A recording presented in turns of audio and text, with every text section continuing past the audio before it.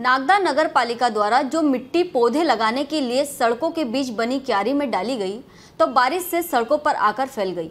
जिससे लोगों को परेशानियों का सामना करना पड़ रहा है। जिससे कई बार तो एक्सीडेंट भी हो चुके हैं। सड़क पर फैली गीली मिट्टी से एक वाहन खंबे से जा टकरा गया, जिसमें सवार व्यक्ति को सिर में गंभीर चोट आई और उन्हें हॉस्पिटल भेज दिया गया। लेकिन नागदा नगर पालिका की अभी भी आँखें नहीं खुली।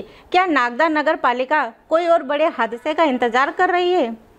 नागदा से संजय शर्मा की रिपोर्ट। इधर से रॉन्ग साइड से एक बंदा उधर से आया। हाँ। और ये बेचारा अपनी साइड से ही था ये तो। और वो आया तो उसकी स्पीड देख के उसने गाड़ी अपने उधर दबाई। हाँ। उधर दबाई तो वो डिवाइडर के पास में जो गारा है ना हाँ, हाँ। उसकी गाड़ी वहाँ स्लिप हुई और वैसे ही वो खंबे में टकरा गया। ज़्यादा छोटा है मैंने तो देखा नहीं है मतलब हाँ मतलब बिल्कुल सुन हो गया सिर में लगी उसके।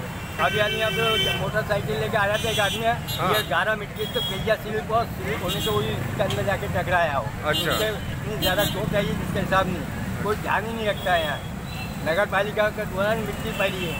है अच्छा। कुछ साफ़ सफ़ाई नहीं हो रही कुछ भी नहीं हो रही। इसकी शिकायत आपने की थी नगर पालिका में बताया आपको? क्या मालूम है कौन आदमी था कौन नहीं नहीं इसकी शिकायत जो मिट्टी फैली हुई है उसकी शिकायत आपने की नगर पालिका में पहले भी बोल रखा करते लोगों ने शिकायत का तो क्या कोई शिकायत की वजह से कोई ध्यान नहीं रख रहा